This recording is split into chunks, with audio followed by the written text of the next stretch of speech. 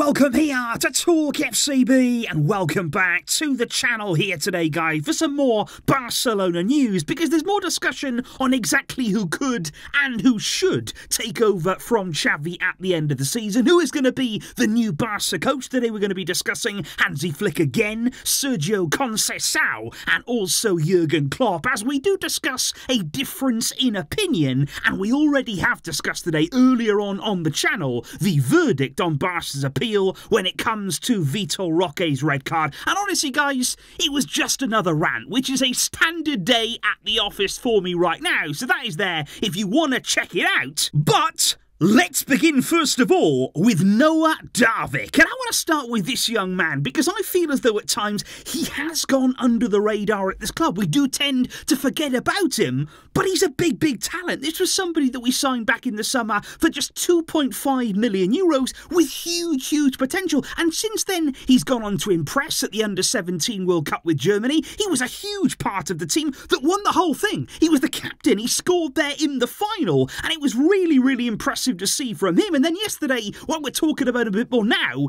he was brilliant yesterday in Barca's UEFA Youth League match against Mainz. He was running the show in midfield. He also scored a goal there as well. And I love the way this young man carries the ball. He's actually very tall, he's strong, he shields it well, but he's got so much technical ability there. The way that he just seems to glide through the field, doing everything in his own time, in his own way. And look, guys, I want to mention this now because I know of late we've missed out on some big talent you know, Echeverri. He was another player that really impressed at the under 17 World Cup. And more recently, of course, we've missed out on Lucas Bergvall in midfield. That one was highly publicised. And of course, you always want the fresh new talent, you always want the exciting new player. But we also can't forget what we already have here. And I think in Noah Darvich, he's got enormous potential. And I'm really hoping he can make his way to the first team, that he can succeed in a Barcelona shirt, because I think the sky's the limit for him. And particularly, guys, one thing to bear in mind is that he may be playing soon under a German coach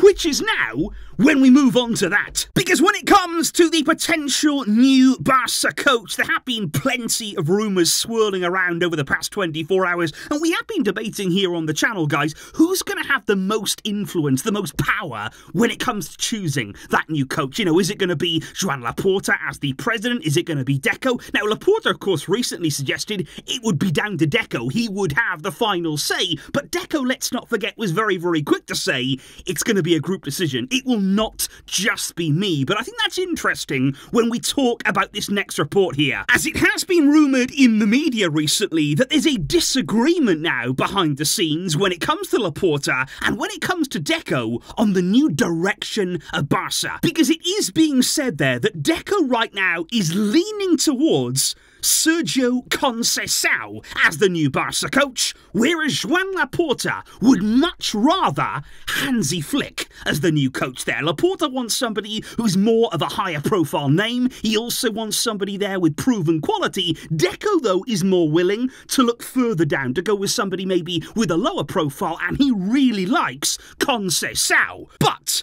Let's talk about him because I just want to say, guys, and we've already spoken about this and we talk about all the coaches that have been linked to Barca. I don't see any reason at all that Conceição is the man for us. There's nothing that he has done so far in his coaching career that says, I'm ready for Barca. I have earned the Barca coaching job. Because this is somebody for me who hasn't even impressed massively in Portugal with Porto right now. There are plenty of Porto fans that I have seen that if he does leave at the end of the season, they won't even be sorry. They won't even really be sad to see him go. And now we're saying he's the man to take us forward. Now, I think if he was appointed as the coach of Barca, guys, it would simply be a case of picking somebody solely based on their connections. You've got Deco there, who we know is Portuguese. He also played for Porto earlier in his career. And of course, like we've said, Conceição is a Jorge Mendes client. Which is when I also want to stress right now, it is also very possible possible that we're hearing lots of links to Conceição, lots of rumours surrounding him. The Barca name may be being used again by Jorge Mendes. We may be allowing him here to use our name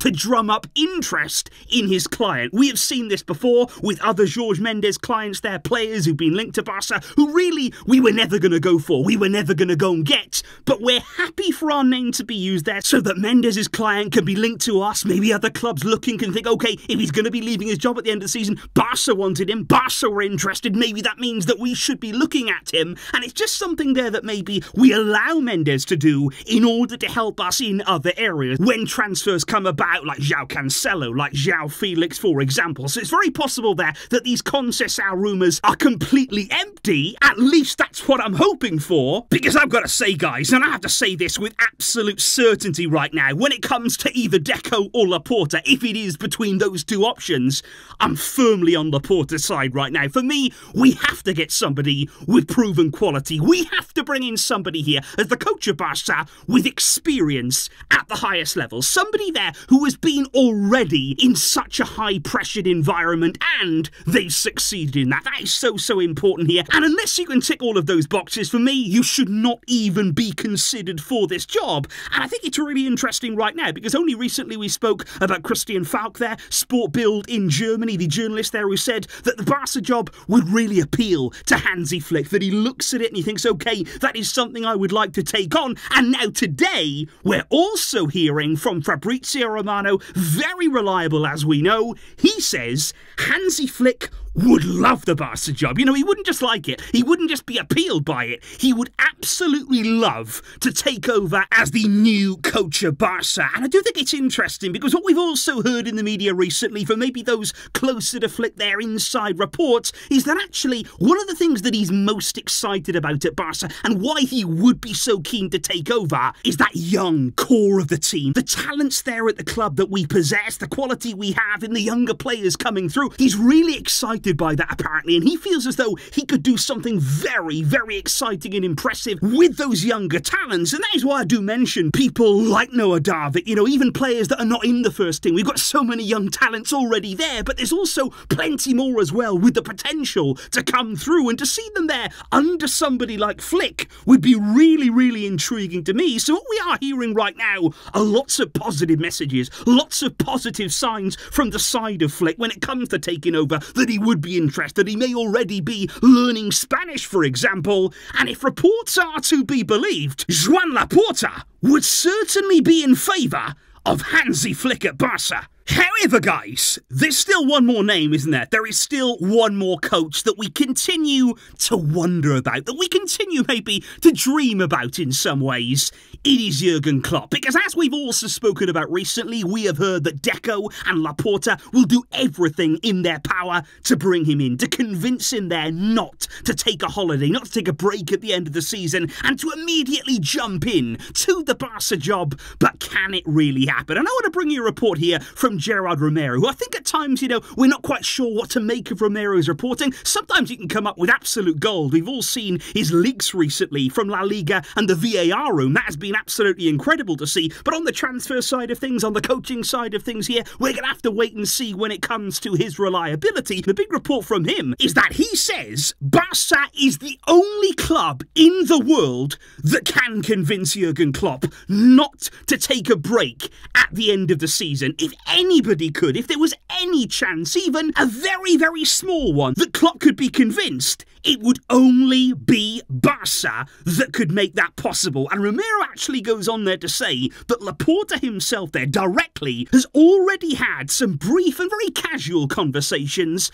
with Jurgen Klopp. And he went on to say he's keen, he is interested, intrigued maybe, by the project at Barca. So make of that what you will, which then does leave us today, guys, with three questions in my opinion, things that I want to know from you. Number one, is there any part of you that thinks, okay, Conceição might work at Barca? Is there any part of you that thinks, okay, he might actually be a decent coach for us? Let me know that down below. The second question would be, how do you think Flick would operate with these young talents, with the squad that we have? How do you think that he would get on? Do you trust in him to get the absolute best out of it? Let me know in the comments down below too. And finally, do you still have any hope at all? Maybe give me a percentage from 0 to 100 on whether you believe Barca could convince Klopp, whether he could be convinced by us to not take a break at the end of the season. Let me know on all of those three questions down below. I will be waiting to hear from you, and thank you indeed for all of your great support right now, guys. I really, really appreciate it, and I'll be back very, very soon. But until next time, yeah, as always, Visca, El Barca.